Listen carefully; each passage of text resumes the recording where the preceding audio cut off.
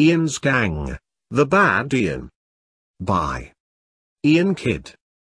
Chapter 1 The universe is a very large place. This is because there is only one universe, as opposed to 12 galaxies, solar systems etc. The Milky Way is a galaxy. That galaxy contains only one planet with reasonably intelligent life. Earth. That means we can definitely forget about the Milky Way. Another galaxy is known as the Spiridon sector, the center of the universe as they know it. As far as this galaxy was concerned, any other galaxies with potential allies, enemies were so far away as to be instantly forgettable. It was just them, and Earth. Therefore, it was just them. Therefore, when someone suggested at the annual intergalactic conference with most major planets in attendance, Zeroth, Zacharia, Cat, and Matadon, though not the deeply religious, and rather amusingly named Bulgaria, that the dump of the universe, Earth, be made aware of its place in the galaxy and play a part in future conferences, it was girlish giggles all round. Strangely enough, the other planet not represented at the conference was the warlike world of Assessis, having been banned since the last conference after they almost caused the biggest war ever seen in the Spiridon sector, until someone realized the star they were all about to go to war over had in fact gone supernova around 2 million years previously, and as the suggestion came from the 15-year-old Prince of Zacharia, Ian Williams, 15 was considered more than adult. Some of the delegates could be seen having a hernia. The din died down as Ian's father, King Jacob, rose, cast a dark glance at his son and said I think Ian is absolutely correct. Quite so. I agree. Marvelous suggestion. All the delegates who ten seconds earlier had been ridiculing the teenager for his outrageous suggestion were now openly admiring the boy for his intelligence and integrity. What is your full proposal, Ian? King Jacob inquired. Ian looked despairingly around the conference hall. All he'd wanted to do was raise a laugh. The 15-year-old king of Zeroth, a planet unique in the universe for many of its inhabitants possessing mind powers, Matthew Parker, reclined in his luxurious leather chair in his suite, sipping champagne and eating caviar. Ah, this is the life. The round-faced, chunky, freckled teenager was clearly enjoying his obviously stressful job. There was a knock on the door. Who is it? Matthew called irritably. Robert. Oh, come in then, Matthew grumbled. Robert Stevens, a 15-year-old Zerothian who as well as being one of a growing number of people who didn't have mind powers, for some mind-boggling biological reason scientists pretended to understand but didn't, was also Matthew's aide and lawyer, entered the room. Tall, fit, dark-haired and usually quiet, he seemed excited about something. Matthew, he began. Your Majesty, Matthew reprimanded. Yeah right, sorry Matthew, Robert continued. That wet Ian Williams has said Earth should be made a part of the universal structure. He's an out-and-out moron, isn't he? Matthew said loftily. He's said he could lead some sort of organization on Earth, to make friends, help local law enforcement and generally get them used to the idea of alien life. No idea, has he? Matthew began sucking down his caviar. He's said it could be called Ian's Gang. What a little egotist he is. He named some people from various planets who could be in the gang, Robert said. The delegates all agreed to it, and they have to join up no matter what their rank. Ha. Matthew laughed. Go on, read out the lucky victims. Sarah Vasquez, Robert began, Philip Vasquez, her brother. Scott Richardson, those three are all law enforcement officers from CAT, Steve Botham from Matadon. That psycho? Matthew looked up. Sheesh, that Ian's in for a shock. Robert Stevens, Robert continued lamely. Matthew stared. You? You? He began to laugh. Oh, Robert. He almost choked, taking orders from that, that. Matthew almost fell off his chair. Oh my dear Robert, I'm sure I'll miss you terribly. He tried unsuccessfully to regain his composure. Oh, that's funny. And Matthew Parker, Robert finished coldly. Matthew spat out his caviar. Aaron. In a cold, dark palace on this surface of this desolate, empty world, Lieutenant Michael Stevenson entered his master's office. Julius, sir? Yes, Lieutenant. Julius didn't turn around in his seat, making it seem to the young soldier that he was talking to a lump of unruly dark curly hair protruding from above the chair. Your orders are being carried out to the letter, sir, Michael finished. All the names? Julius questioned. All the names, Michael confirmed. So, this Ian's gang project will not have the chance to begin. You realize, Lieutenant, if it had, Ian would certainly have used it to crush me. He hates me, you know, Julius paused. He's consumed with jealousy.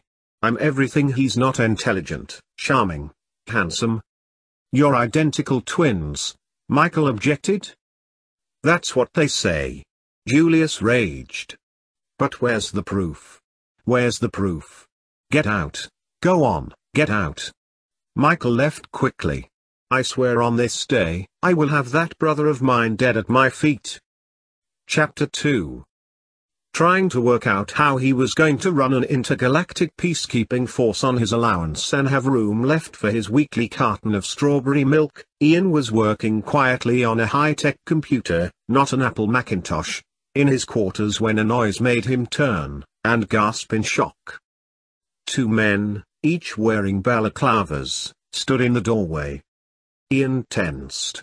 For all he was slightly overweight and a little bit arrogant, he was also cool, rational and a little bit arrogant, every bit a king's son. The masked man on the left moved in, diving toward the teenager. Sidestepping, Ian threw up his arm, knocking his attacker to the floor, unconscious. Before his masked accomplice could react, Ian kicked him in the groin and delivered a cool right hook to his head. Ian rubbed his hands together in satisfaction as he his two would-be attackers lay dead to the world. On Zeroff, Robert was in his office, dealing with bills, when someone knocked on the door. Robert looked up. Come in. The door opened and two men in balaclavas came through it. Hell. Robert dived for the drawer his gun was in. There was a shot. Robert slumped in his chair. Look Barry, I don't care whether Jim Robber has or hasn't got the hots for Ann Walls, just get up here will you? Ian raged over the communicator. Barry, two men just attacked me. You're supposed to be in charge of security, not watching stupid Matadonian soap operas. He turned off the communicator, fuming down at his unconscious foes. It's never been the same since Madge left, anyway. Robert, Matthew entered his friend's office, and let out an involuntary gasp of surprise. The room was a mess, furniture overturned, papers everywhere. Robert. Matthew reproved thin air, I warned you about those all-night parties, didn't I? Something cracked down on the back of his head. Matthew wondered if the room was meant to spin like that, then blacked out. Robert awoke. He was cold. He sat up, blinking, and discovered to his shock that he was sitting on a beach, the waves from the incoming sea washing over him. Hell, Robert said disgustedly, Matthew warned me about those all-night parties. Quickly, he climbed to his feet and ran on to dry land, which in this case was a green field, which seemed to stretch as far as the eye could see. Robert shook his head. Where the hell was he? The planet cat, law enforcer Scott Richardson, the toughest 15-year-old on the planet, was on his way home when three masked men leapt out in front of him. Oh, for crying out loud, Scott moaned. I've had a day of this, fellas. Can't you wait until tomorrow at least? The three men advanced menacingly. Come on then, Scott yawned, raising his fists, let's get it over with. The men went for him. Scott head butted one thug to the floor, and slammed the other two men's heads together. Scott grinned at his three unconscious opponents. See you in the morning, he called, turning away. There was a loud bang, and Scott hit the ground. Steve Botham could not be described as your average, ordinary, typical, run-of-the-mill Matadonian law enforcer. Put crudely, he was a psychopath. He was a shoot-first, ask-questions-later style cop, but the problem was, once he'd shot, there was nothing left to ask questions to. The fair-haired 15-year-old was a relatively new member of the Armando law enforcement community, yet already he had received 18 reprimands and 16 charges of unnecessarily violent behavior. So why were two men trailing him as he left the station? Ian's frustration was growing by the second when finally there came a knock on the door. Who is it? Barry. About bloody time, too. Ian opened the door, and was immediately punched in the face by one Lieutenant Michael Stevenson. Michael rubbed his hands together smugly. Too easy. Steve became aware of his two pursuers around half a mile down the road, and turned to face them. What do you want? He bellowed. The men drew guns. Shit. Steve yelled, pulling out his faithful friend, and decidedly not standard issue, machine gun, and opening fire, blowing the pair of them away in a hail of blood and bullets. Steve grinned grimly at the carnage. And if my commander calls that unnecessarily violent behavior, I'll shoot the bastard. Matthew awoke. He was cool, but not unpleasantly so. Opening his eyes, he found he was lying in long green grass and, standing up, he saw miles of grass, nothing but grass. Groaning, Matthew decided he'd be better off lying down and going back to sleep. Chapter 3 The planet Assessis Maximilian Agon, High Commander of the glorious Assessis Empire, second in command only to President Richter himself, watched as an Assessis warship was loaded with both soldiers and weapons. Alexandro Cezam, Richter's chief of special operations, sauntered toward him curiously. Did we declare war on Zeroff and I just missed the memo? Agon smiled. The warship is going to Erin. Cezam gaped. But why? There's nothing there. It's a husk. There's a few mindless savages, descendants of the convicts we used to put there, sea, sand, lots of toxic waste that makes the planet almost uninhabitable, that we put there as well, and a planet load of green grass. There's nothing to conquer. If that's where you're going, you certainly don't need a warship. Agon frowned. But you don't know why we're going, do you? Well, no, Cezam admitted. Then shut up. Agon snapped. Then he smiled again. We are going there to eliminate an enemy of Assessis. Who? Someone who once held the position I do here, Agon continued. Someone we trusted. Someone who betrayed us with his cowardice, leaving an entire platoon to be slaughtered. Someone who is going to suffer for what he did to us. His nickname here was the Bad Ian, he smiled sadistically. Otherwise known as Julius Williams. Ian woke up on a beach. Seeing the tide was coming in, he climbed up a slope onto fields that stretched as far as the eye could see. Hearing a noise, Ian turned to see six men, looking so wild they would have put the wind up earth cavemen, wearing grass clothes and wielding crude clubs. Grunting, they advanced menacingly upon him. Ian realized he had no weapons and that these men were obviously in no mood for intellectual conversation.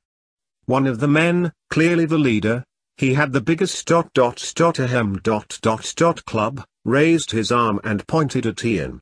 Ian had the unsavory feeling he was thinking about lunch, turned and ran for his life, the pack close on his heels. Ah, brother dearest, Julius the Bad Ian smiled, watching events on a monitor in his palace, a few miles away from Ian's peril. Get out of this one with your ponchon for sucking up to daddy. He laughed harshly. Ian ran wildly. Panting, he realized that A. He was very unfit. B. He couldn't keep this up, and C. The pack quite clearly could. He realized that if something didn't happen soon, he'd end up the main course at a very messy dinner party. Ian saw someone up ahead. Help. Ian cried, waving his arms about desperately. The boy turned and stared at him. Help. Ian cried again. Get down. The boy yelled, Get down. Ian dived into the grass. The boy raised his arms in the direction of the pack. The hungry pack leader lunged for Ian. Six bolts of light sprang from the boy's hands, individually striking down each member of the pack. Ian climbed to his feet, brushing himself down as the boy approached. Thanks, Ian smiled, I needed that. So I gathered, the boy said dryly. Don't you know who I am? Should I? For a prince, Ian was clearly ignorant of intergalactic affairs. I am King Matthew of Zeroff, the boy stated pompously. I want a little chat with you, buddy boy. Steve Botham entered his house to find it disturbingly dark and quiet. He stretched out a hand to the light switch. An electric shock threw him to the ground, unmoving. Shock reports have been coming in from all of the universe of the disappearance of several of the cosmos' finest people, the newsreader stated. The Bad Ian was watching the news on his monitor, delighting in his own brilliance. Prince Ian from Zacharia was one of the first to disappear, the newswoman continued. The ruler of Zeroff, Matthew Parker, has also vanished, as his personal aide, Robert Stevens. Implications of a homosexual affair between the two are strongly denied by the palace and were in fact just thought up by us a minute ago for a good laugh. Also missing in curious circumstances are Matadon's, Steve Botham, and Cats Scott Richardson and Philip and Sarah Vasquez. She paused for breath. Julius smirked. Oh, why am I so perfect? He wondered. And we have just received some terrible news. The newsreader shouted. Julius lazed dreamily. A warship has just taken off from Assessis and is heading toward the planet Erin. What? Julius jerked his head up. Just what the warship wants on Erin is currently unknown, the newswoman concluded. The smile faded from Julius' face. Chapter 4 The commander of the Assessis warship currently streaking through space, Nicholas Marnode, a young and relatively inexperienced officer, strolled down the corridors of the vast spacecraft until he found the door he wanted, and knocked. Who is it? A voice emanating from the room demanded irritably. Chief Marnode.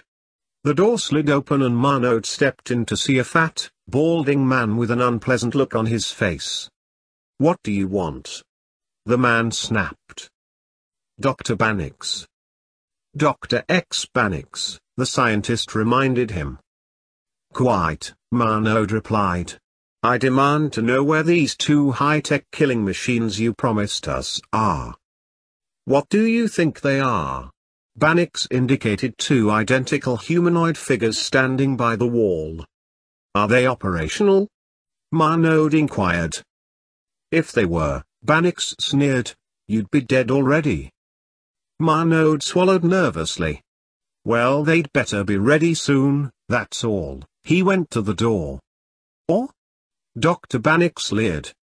Marnode turned. Or we'll have to think seriously about whether or not to send you back to Matadon. He smiled. And we all know what's waiting for eh, either, don't we? Don't push your luck, Marnode, Banix snarled. You're nobody here. I'm an old hand at this game. Marnode narrowed his eyes.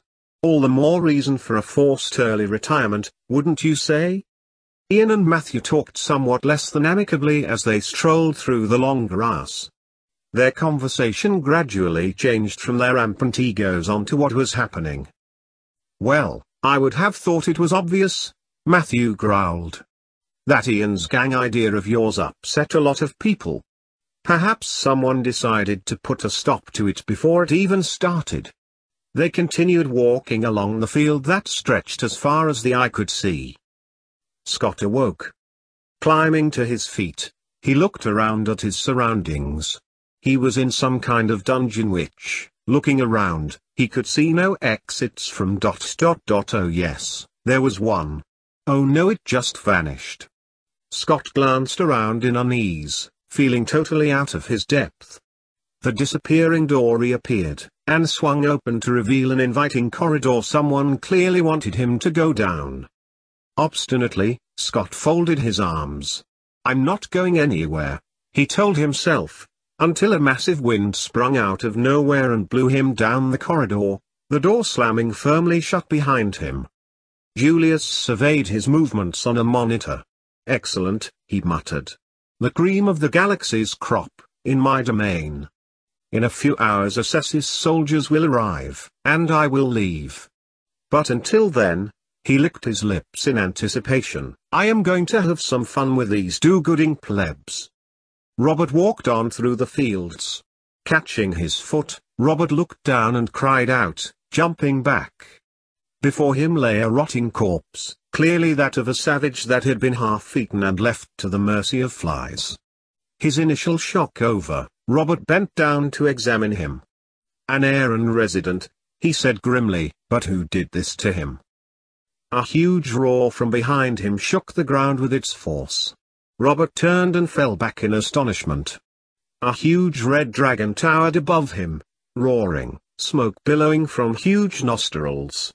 Robert staggered to his feet and ran for his life. Julius viewed all this with a smile.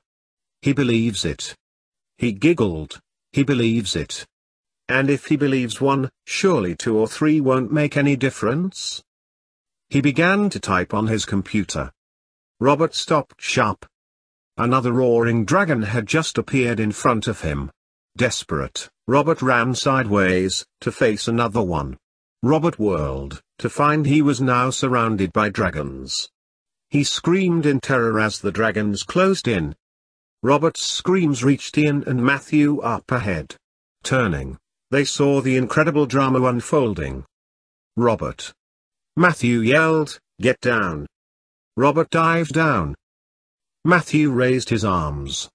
Five beams of light leapt from them and sprang on each individual dragon. The dragons seemed to somehow absorb them, and vanished. Five beams of light rebounded and struck Matthew in the face. Matthew toppled over. Robert leapt to his feet, ran over to Ian and they both looked helplessly down at Matthew. He lay unmoving, smouldering, apparently dead. Chapter 5 Steve woke, alone in a tunnel. He wasn't the slightest bit disconcerted by this, however, he still had his trusty machine gun, and when he came across whoever was behind his current predicament, checking his gun, he began to walk and it wasn't long before he heard voices, a boy and a girl. Steve raised his machine gun and leapt around the corner, preparing to fire. He heard the girl scream, and heard a shot. He didn't realize he hadn't fired it until he saw his own weapon lying on the floor. The boy who had fired, a small, wiry young man with thick black hair, shoved his gun back into his holster. Good shot, Steve commended. Thank you, the boy grinned. I'm Philip Vasquez. Steve Botham. Sarah Vasquez, the girl spoke. Her thick brown hair was somewhat wild, and whilst she was attractive, her face was flushed and she looked tired. They shook hands and told their stories. Well, seeing as we're all in the same boat, Steve said, I suggest we put our heads together and find the nutter behind all this. And when that's done dash, he rubbed his hands together gleefully, I'm gonna kick his ass. Ian and Robert stood looking at Matthew's motionless body. They'd been doing that for several minutes, and Ian, despite some sadness at Matthew's demise, decided it was time to move on. Come on, Ian tried to console the other teenager. He's dead, it's over for him. I suggest we try and find our own salvation. We don't know he's dead, Robert objected desperately. Have you felt for a pulse? He moved toward the body. No. Ian stopped him. He won't be nice to look at. Thank you very much. Matthew cried, leaping to his feet. you're not exactly a male model, yourself. Matt. Ian cried, unexpectedly delighted. We thought you were dead, Robert told him, quickly wiping away any hint of tears. Oh, I used my powers to stop the beams actually hitting me, Matthew said dismissively. Then why the dramatic collapse? Ian demanded. Matthew grinned. Just wondered if you cared, that's all. Ian sighed. But he had to admit, Matthew's sense of humor, warped though it may be, was very infectious. The two robots, imaginatively named Banix 1 and Banix 2, were operational. Dr. X Banix watched in delight as they moved exactly according to his instructions. Chief Marnode entered. I thought you said these two weren't operational? What if I did? Banix snarled. Landing on Aaron is imminent, Marnode told him. After we have dealt with the Bad Ian, we will then be dealing with you. Look, Ian pointed. In the distance was a huge castle, just looming over the horizon. Ah, Matthew smiled. Now we're getting somewhere. Come on you two, hold on to me. What for? Ian looked horrified at the very idea. Now I can see it I can teleport us there. Idiot, Matthew retorted. If I didn't even know where we were going, I couldn't, now could I? Now come on. Matthew concentrated as Ian and Robert grabbed onto his arms. The threesome vanished. Steve, Philip and Sarah heard sobbing and, turning a corridor, saw Scott on the floor, crying. Steve helped him to his feet. You alright? He grunted. Scott wiped his eyes. Someone's been playing games with my mind. Making me see dead people, like my mom. This bastard is mean, Steve grinned appreciatively. Gonna be fun filling him with lead. Oh my, Sarah sighed wearily. What a nutter. Steve glared at her. Watch it, Missy. Ooh. Sarah grimaced. I'm durably frightened of you. She hid behind Philip. PP please protect me. Philip laughed at his sibling's sarcasm. Nice one, sis. There was a whooshing sound and Ian, Matthew and Robert appeared out of nowhere in the corridor. Steve went for his gun, but Ian kicked it away. I'm sick of people doing that. Steve groaned. I suspect we're all in the same boat, Ian began confidently.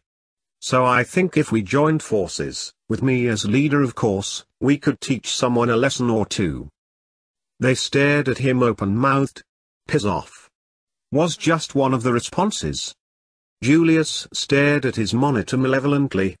He didn't like the idea of these people getting together at all, and now his monitor had gone dead.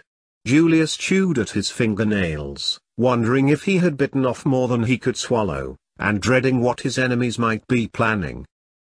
His enemies were bombarding each other with insults, mostly directed at Ian. Me work for a Pongsi prince? Steve grunted. You've got to be bloody joking. Ian tried to calm his audience. I didn't mean work for me. I meant us all help each other. Steve nodded. That's better. With me in charge, Ian finished. The insults began again. The Assessis warship sped sleekly toward Aaron. Entering Aaron atmosphere, Marnode spoke crisply. Arrival imminent. Excellent, High Commander Agon's voice crackled slightly through the communicator, and remember, Marnode, Julius is to be caught and held until you reach Assessis, where I will personally dispose of him. You or any of your men kill him, or let him escape, and I'll execute you and your entire squadron in his place. Understood? Yes, sir, Marnode swallowed. Good. Out. Sighing, Marnode turned in his seat, to face a grinning Dr. X Bannix. Problems? Bannix smiled slyly. The warship flew on. Chapter 6 Ian had finally calmed down his fellow victims, although there were still some rebellious mutterings, mainly from Steve. Philip and Scott didn't seem to mind much either way. Matthew and Robert were watching in detached amusement, and Sarah seemed to be hanging on Ian's every word. Right then, Ian continued, now it's all settled and I'm in charge, I suggest. Suggest? Steve scoffed. You mean you order? I suggest, Ian carried on regardless, that we try to get out of this mess. Matthew applauded. Good thinking, he commented sarcastically. Julius was watching the news again, although the presenter's comments weren't instilling him with confidence. The Assessis warship will land on Aeron in two or three minutes time etc. I think, Julius commented shrewdly to no one in particular, that it's time I left Aeron to the Aerons. There was a whoosh of air and Julius turned to face Matthew, Ian and the others. Julius. Ian snarled. I might have known. He's just like Ian, Sarah pointed out rather unnecessarily. Apart from that rather nasty scar on your left cheek, right Jules? Ian mocked. I gave him that on our last encounter. Julius snarled. Watch it, brother dearest. Your supreme arrogance didn't do you much good last time, did it? You do enjoy talking rubbish, don't you? Ian smiled.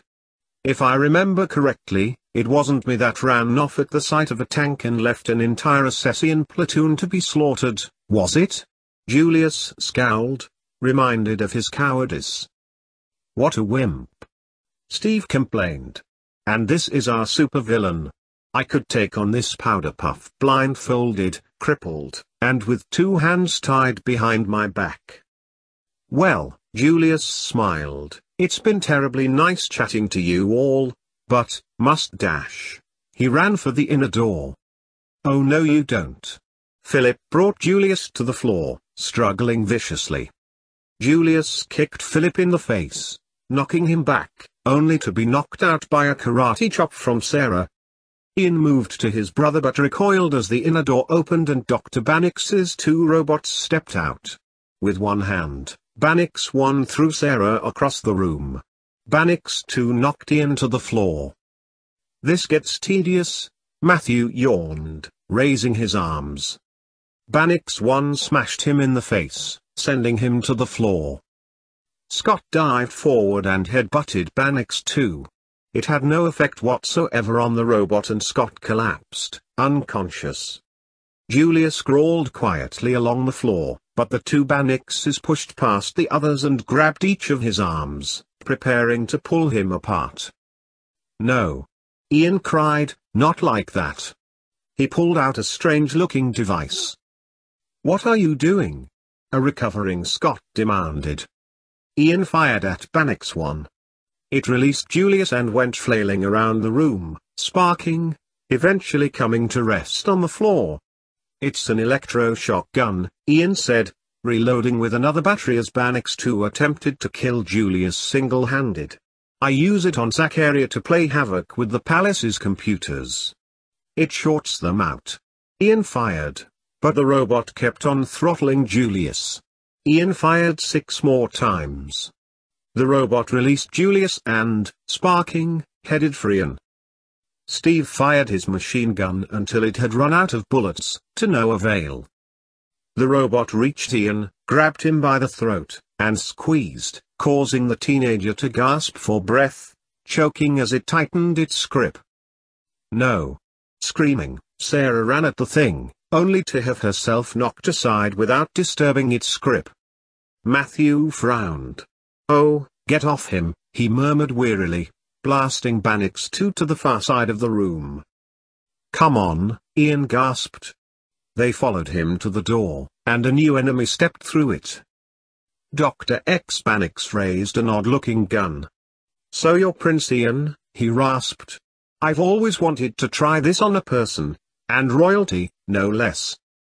What is it? Ian gasped. This device reverses the polarity of the neutron flow in machines. Let's see what effect it has on people, shall we? Behind Ian, Banix 2 climbed to its feet and lurched toward the teenager, hands raised in a strangling motion. Who knows, maybe it will send you insane or something, Dr. X Banix chuckled. Two bad Ians, what a thought. He fired. Ian dived to the floor. The energy charge struck Banix 2. Without changing its course, the robot grabbed its master and began to throttle the life out of him. Die, it spoke for the first time, evil must die. And Dr. X Banix, scientific genius and evil mastermind extraordinaire, died horribly at the hands of his own creation. Come on, Ian urged the others. The robot grabbed him. Please, Banix said, let me join you. Ian stared at it and realized it was more than just a tool for good, it was a person. Very well, he said slowly. We must hurry, Banix urged. Assessis soldiers are here. My former master wished the bad Ian dead so as to ruin Chief Marnode. They want him alive. Sarah looked around. Where is the bad Ian? Ian smiled. He'll be long gone. Come on. They ran through the door into a hangar where a spacecraft stood waiting. That's Julius' escape route, Ian smiled grimly. Now it's ours. They climbed aboard. Robert and Steve took the controls. Get back in the passenger section, Steve shouted. The engines roared and, swiftly and smoothly, the ship flew from the hangar and into the blue sky. Chief Marnode had just left the warship when he saw the craft fly off into space. There was no way they could catch it. Half the crew had already disembarked and by the time they were back on the craft the Bad Ian's ship would be long gone. He knew he had failed, and he knew what failure would mean back on Assessis. Drawing his weapon, Marnode shoved the gun in his mouth and decorated the ground with his brains. Chapter 7 The craft had just left Aaron's atmosphere. Exhausted, almost everyone was sleeping in the passenger section, the lights down, all except two. Robert was in the cockpit, surveying the flight, when Julius attacked him from behind. Robert had no time to cry out, and virtually no time to struggle before he was lying unconscious on the floor. Julius chuckled. These imbeciles had thought his plan had been for them. No, they were just for fun, something for his hired mercenaries, still down on Aaron, to do, an added bonus. While he hadn't been expecting them quite so soon, it had been Assessis he had been after all along, he'd wanted to send them a message, to leave him alone, or they'd regret it. All over Aaron, massive thermonuclear warheads with the potential for cracking open the planet like an egg were waiting. Waiting for one signal to detonate and destroy everything. Julius pushed a button. Bye, bye Aaron, the planet Aaron exploded, shattering its remains into fragments of debris that scattered all over the universe. Julius was encased in a spacesuit. And now, he cackled, I will destroy this ship and this newly formed Ian's gang. He typed in the password on the ship's computer. The screen flashed. Ignition imminent. Insert key for detonation. To abort press A. Julius took out a key. Ian lunged for him. The key clattered onto the floor as Ian punched his brother repeatedly, until Julius buckled under his onslaught. One final punch sent the villain to the floor and into oblivion. Ian punched A on the keyboard.